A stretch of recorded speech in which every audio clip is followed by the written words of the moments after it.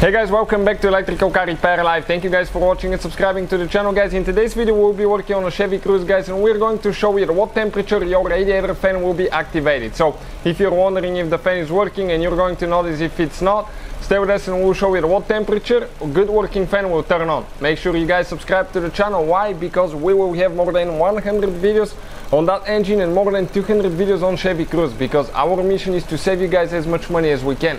So please subscribe to the channel guys and like the video. Hopefully you will find the information helpful guys. If you have any questions, leave a comment below. We'll try to make a video for your problem. Now, if you need any tools or parts that we use in the video guys, check out the link in the description of the video below and you can see where we get all our parts from. Now, I'm going to go inside guys and I want to show you what I have right here. Okay, we have okay right here we have the uh, scanner connected and let me show you I'll start from uh, from the beginning to show you how we are going to connect that. So you plug it in okay to your OBD connector right there. Just plug it in guys like that. Now we are going to go ahead and connect it.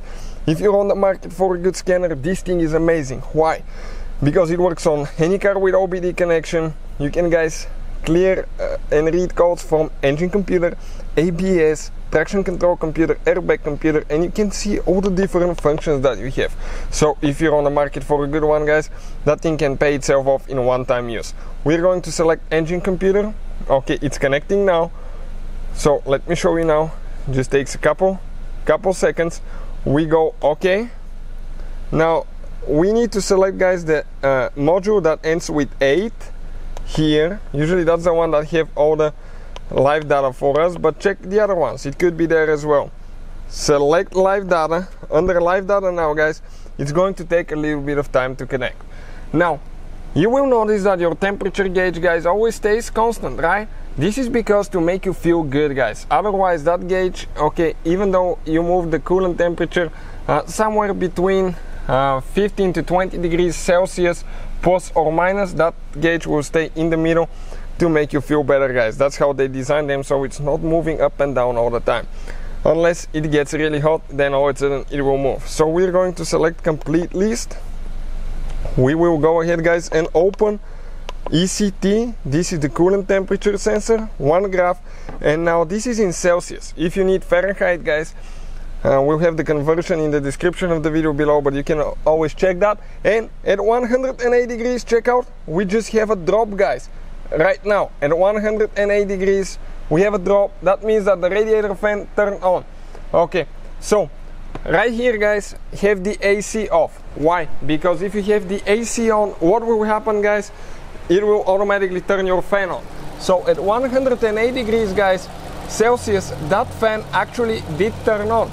Okay it is a lower speed not at high speed but it did turn on at 108 Celsius Fahrenheit. Okay, uh, we're going to have the calculation in the description of the video below. Now, let's see when it's going to turn off, guys. So you know at what temperature it should turn off, because sometimes you may have a fan that is uh, not working correctly or just gets stuck on.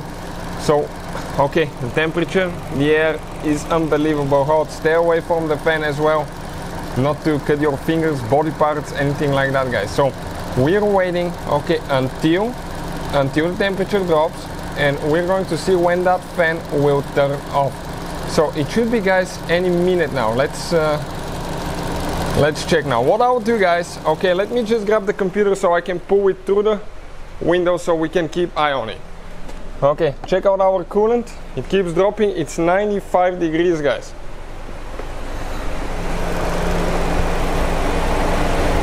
Ninety-five degrees right there. So it still keep dropping. 94 fan is still on. Okay it started climbing a little bit but the thermostat is closed now. 96 so we're just waiting guys to see. Okay. When the fan will turn off? It's still on at 97 so it may take a while 98 and the way we're climbing I think we're going to reach that temperature again okay pretty soon by the way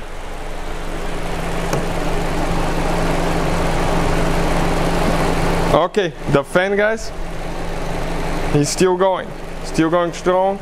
99, so which means that the radiator is warm. And the air that I get, okay, it feels super warm. So how we can confirm that? Let me let me get a, a temperature gun, guys. Okay, give me just a second. I'll get a temperature gun. Okay, this is a temperature gun, guys, and we're going we're going to check what temperature we get out of the fan in Celsius. 50 degrees, 53 on the air, guys. 57 so that radiator is pretty hot. Okay that's why that fan is still on. So let's see if it's going to turn off now. You can see here it's at 100 degrees. So at 108 is when that fan did turn on. Now my question is is it going to turn off at all? Now outside right now it's super hot at the shop so that's not helping but in cold weather you will be able to cool everything super fast and it will turn off. Let me show you now. Temperature wise at the shop right now guys. Okay at the shop. On the car even. Today was a, it was super hot. Fahrenheit was 100 degrees. Right now it's 37 and it's still dark 99 guys. Hot summer day what to tell you. But you can see it's cooling so when it turns off I'm going to continue so after a while guys, he did turn off at about 98, 99 degrees, but the radiator got cool to the point it's about 40 degrees Celsius and now it's off guys. So you can see at 108 Celsius, that's when your fan will turn on. Hopefully the video will be helpful. Thank you for watching. Please subscribe to the channel and see you guys next time.